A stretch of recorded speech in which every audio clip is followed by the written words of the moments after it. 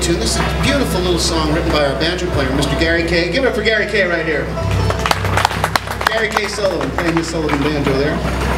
It's a beautiful tune titled Lily of the Valley. Exactly, that's how we feel.